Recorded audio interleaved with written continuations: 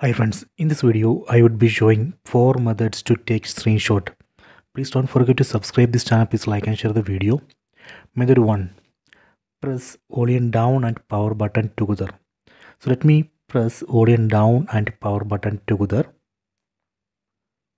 See screenshot is ready. Tap on the screenshot. So here we can share, edit and delete the screenshot. Let me go back. Then go to my files tap on this my files app icon. Go to internal storage uh, dcim screenshots. Here you can see that captured screenshot. So this is a method one.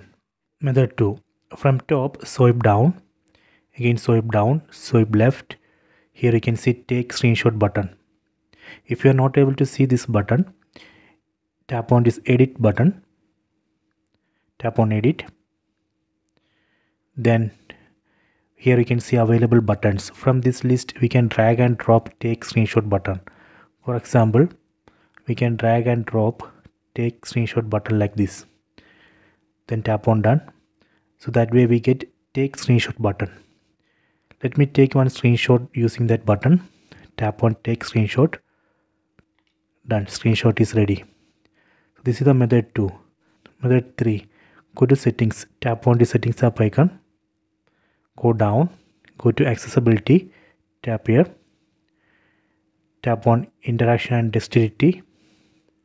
Enable this option assistant menu. Enable tap here tap on allow done. We get this assistant menu shortcut. Using that shortcut we can take screenshot. Tap on this shortcut then tap on the screenshot button. See screenshot is ready. This is a method 3 let me go to method 4. In method 4, I will show you how we can take a long screenshot. Let me open this uh, Play Store, Google Play Store. I am going to take long screenshot of this Google Play Store. We can use one of the three methods which I explained. For now, let me use this buttons method. Let me press volume down and power button together. Screenshot is ready. Tap on this long screenshot button again tap. That way we can go to next page. So once we are done tap anywhere on the screen. That way we can save that long screenshot. Done.